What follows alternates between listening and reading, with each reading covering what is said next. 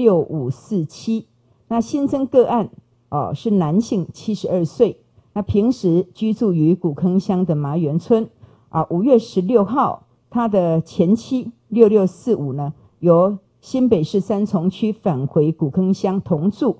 那五月十六号返回时尚未确诊。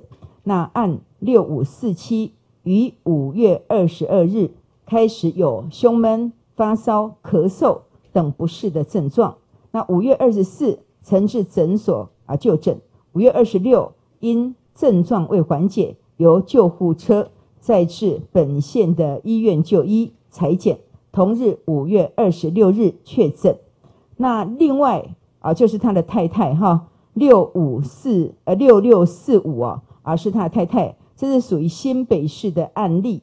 那但是现在也在我们云林县啊的医院就医。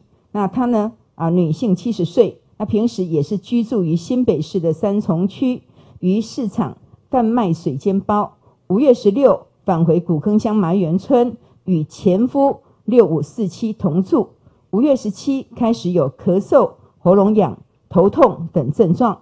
五月十八至诊所就诊后。症状缓解。五月二十六，因为前夫确诊，那立即安排至本县的医院裁剪。同日，五月二十六日确诊。